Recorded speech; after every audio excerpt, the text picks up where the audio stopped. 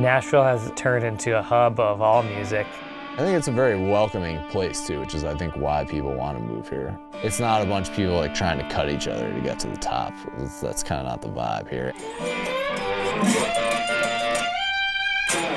There's so many incredible studios, so many incredible musicians, so many incredible producers and engineers and mixers. It's a really exciting time here. In Nashville, you want to help everybody succeed because the mentality is we all succeed together.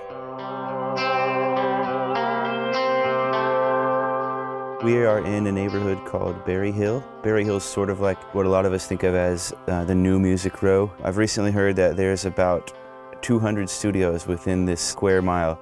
Pretty much every other building's a studio right now.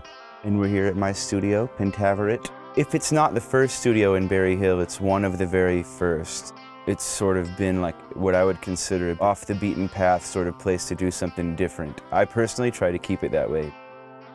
Today we recorded a bunch of instruments for Arcade. I've worked with Rob and Andrew, uh, both of them, uh, quite a bit over the years. They're just two of my favorite collaborators. We tried to kind of get a smattering of session and live guys that, that we know and are friends with that we use on our own sessions that we do. Like these are the guys that we call all the time.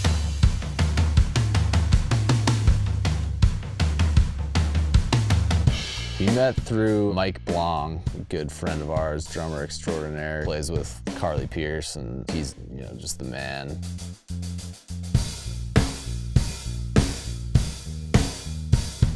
Try to like leave some space and play more like individual loops over it instead of playing the arrangement. Okay. You know what I mean? So just like improvise, couple grooves, couple fills, couple non-simple things like we were doing before. We used a 66 Ludwig kit and 5-inch Black Beauty. I used 414s on overheads. I used an R88 on the room mic, which I kind of got to get a little messy with, which was cool. I put it through a pair of 1176s, all buttons in, so they're nice and ugly sounding, which is cool.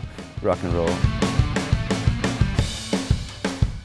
part of what we've been liking doing the loops this way is like we kind of get a live human feel happening to them. I mean, they're real instruments played by real players. And it's going through like real gear. Real gear. Real stuff, so it's all, yeah. It's legit. We use this on bass. This is a Motown DI. This has the original Motown Triad transformer in it. So for all intents and purposes, this is the Motown DI. So what's the vibe? So I think we're going like Americana, simple and songwritery, but also kind of thumpy and funky too for some stuff, and play like a lot of ones, fours, fives, flat sevens that work major or minor. Colin Healy plays bass with Dustin Lynch. Awesome dude, awesome bass player. Try some where you just stay on the root, but like play like kind of syncopated stuff. But like just like literally on the G. Okay. You know, but like syncopated. Yeah, the flat sevens. We kind of started with more like kind of twangy, classic Americana country type of sounds, but I think as we kind of keep doing it, we're gonna really start to expand on it because Nashville's got a lot of different sounds.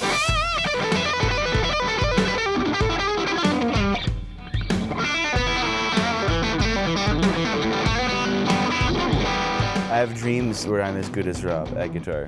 I've been playing guitar for 30 years, and he blows my mind. I don't know how you can possibly be that great at guitar. Bobby, do you have like a fuzz factory or something?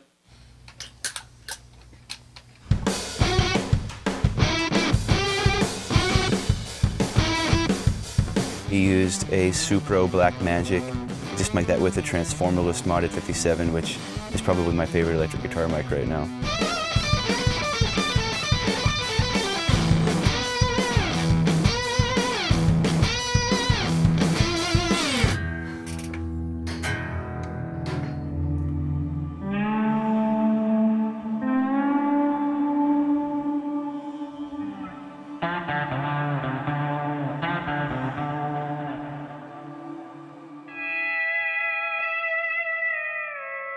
That sounds awesome. So good. All right, so what we got here is a lot of these loops that were recorded here in Nashville spread across an arcade kit. We added effects to everything with really easy macros here. So, for instance, this silky pad sort of sound. Now we've got we've added some modulated delay, kind of like a Memory Man, just to give it a little bit of a spacier vibe, so that it's not specifically old country. What is the age slider doing? The age slider is working with a couple of filters to kind of mock like old tape, as if you were maybe pulling it from an old record or something. We can actually mess it up a little bit and, and use it in maybe a hip hop beat or a rap beat and make it sound kind of like a sample. So we've got the repeaters that'll repeat it in different intervals. That's cool. Now it's not a pedal steel at all. It's a Right. it's a pad, you know. Totally. You use the same kit, make you know, 20 different songs. Yeah. if Endless. you want. Yeah. In the, Yeah. whatever genre you want, really. Yeah. Yeah, absolutely. It's our buddy Kyle.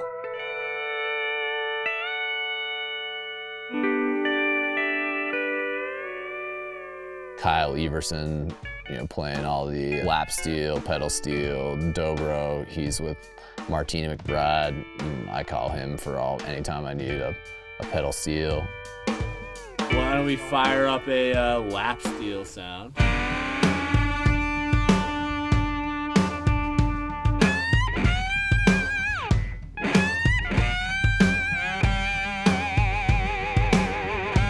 Picture you like you're watching Walking Dead and there's this fucking. Yeah, like that. Can you go down high G to low G?